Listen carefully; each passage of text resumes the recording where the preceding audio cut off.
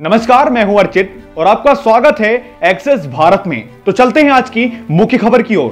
कानपुर देहात अकबरपुर क्षेत्र में बना शांति उपवन, जहाँ पे अनुसूचित मोर्चा का सम्मेलन हुआ है। सम्मेलन के दौरान चारों विधानसभा के विधायक मौजूद रहे थे।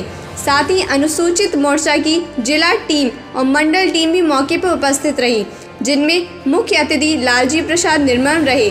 कार्यक्रम के दौरान बीजेपी कोषाध्यक्ष पूनम आर ने वहाँ पर विधायकों को सॉल उड़ा के और प्रतीक चिन्ह दे के सम्मानित किया। आपको बता दें कि अनुसूचित मोर्चा की जिला कोषाध्यक्ष पूनम आर्य मीडिया से रूबरू हुई और सरकार की उपलब्धियों को भी बताया।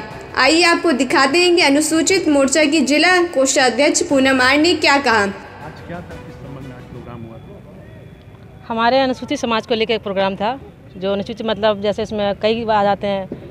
अनुसूचित मतलब डिटेल में आपको बताएँ तो जैसे कुछ खटिक भी होते हैं कुछ चमार भी होते हैं कुछ कोरी भी होते हैं इस टाइप से जो होता है तो वो एक अनुसूचित मोर्चा होता है। तो उस मोर्चे को लेकर आज यहाँ कार्यक्रम किया गया था जागरूक कराने के लिए। बस। तो क्या क्या है उनको अनुसूचित जो उनके लिए कैसे जागरूक किया जाएगा?